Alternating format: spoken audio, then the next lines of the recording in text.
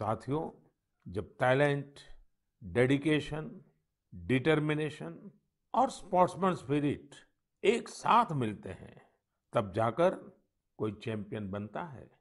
हमारे देश में तो अधिकांश खिलाड़ी छोटे छोटे शहरों, कस्बों, गाँवों से निकल करके आते हैं। टोक्यो जा रहे ओलंपिक दल में भी कई ऐसे खिलाड़ी शामिल हैं, जिनका जीवन बहुत प्रेरित करता है। हमारे प्रवीण जाधव जी के बारे में आप सुनेंगे तो आपको भी लगेगा कि कितने कठिन संघर्षों से गुजरते हुए प्रवीण जी यहाँ पहुँचे हैं। प्रवीण जाधव जी महाराष्ट्र के सातारा ज़िले के एक गाँव के रहने वाले हैं। वो आर्चरी के बेहतरीन खिलाड़ी हैं। उनके माता पिता मजदूरी कर परिवार चलाते हैं और अब उनका बेटा अपना पहला ओलंपिक्स खेलने टोक्यो जा रहा है। ये सिर्फ़ उनके माता पिता ही नहीं, हम सभी के लिए कितने गौरव की बात है। ऐसे ही एक और खिलाड़ी हैं, हमारी नेहा गोयल जी। नेहा टोक्यो जा रही महिला हॉकी टीम की सदस्य हैं। उनकी माँ और बहनें साइकिल की फैक्ट्री में काम करके परिवार का खर्च जुटाती हैं। नेहा की तरह ही दीपिका कुमारी जी के जीवन का सफ़र भी उतार चढ़ाव भरा रहा है। दीपिका के पिता ऑटो रिक्शा चलाते हैं और उनकी माँ नर्स हैं। और अब देखिए, दीपिका अब टोक्यो ओलंपिक्स में भारत की तरफ़ से एकमात्र महिला तीरंदाज है। कभी विश्व की नंबर एक तीरंदाज रही दीपिका के साथ हम सबकी शुभकामना है। साथियों, जीवन में हम जहाँ भी पहुँचते हैं जितनी भी ऊंचाई प्राप्त करते हैं, ज़मीन से ये जुड़ाव हमेशा हमें अपनी जड़ों से बांधे रखता है। संघर्ष के दिनों के बाद मिली सफलता का आनंद भी कुछ और ही होता है। टोक्यो जा रहे हमारे खिलाड़ियों ने बचपन में साधनों, संसाधनों की हर कमी का सामना किया, लेकिन वो डटे रहे, जुटे रहे। उत्तर प्रदेश के मुजफ्फरनगर की प्रियंका गोस्वामी जी का जीवन भी बहुत सीख देता है। प्रियंका के पिता बस कंडक्टर है। बचपन में प्रियंका को वो बैग बहुत पसंद था, जो मेडल पाने वाली खिलाड़ियों को मिलता है। इसी आकर्षण में उन्होंने पहली बार रेस वॉकिंग प्रतियोगिता में हिस्सा लिया था। अब आज वो इसकी बड़ी चैंपियन है।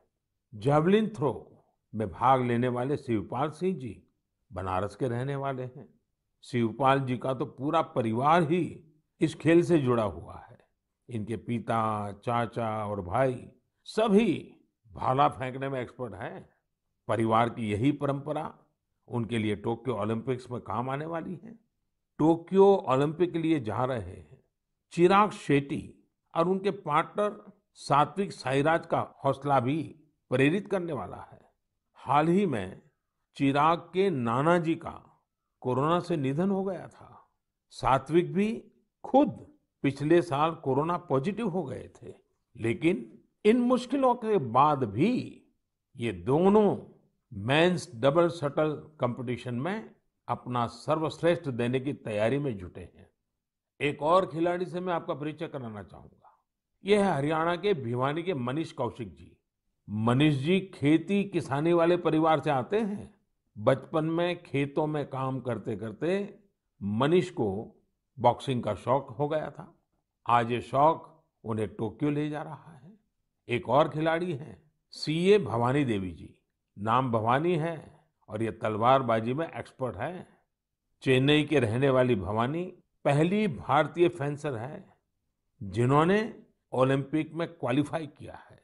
मैं कहीं पढ़ रहा था कि भवानी जी की ट्रेनिंग जारी रहे इसके लिए उनकी माँ ने अपने गहने तक गिरवी रख दिए थे।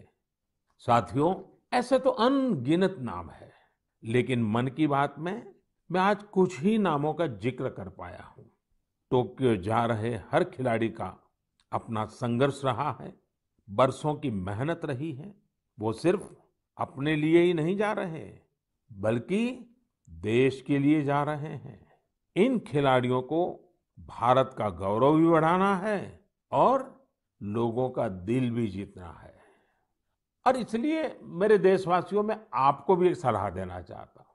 हमें जाने अनजाने में भी हमारे इन खिलाड़ियों पर दबाव नहीं बनाना है, बल्कि खुले मन से इनका साथ देना है। हर खिलाड़ी का उत्साह बढ़ाना है।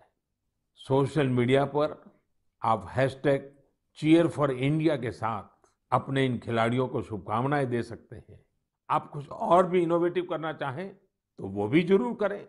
अगर आपको कोई ऐसा आइडिया आता है, जो हमारे खिलाड़ियों के लिए देश को मिलकर करना चाहिए तो वो आप मुझे ज़रूर भेजिएगा। हम सब मिलकर टोक्यो जाने वाले अपने खिलाड़ियों को सपोर्ट करेंगे। Cheer for India cheer for India cheer for India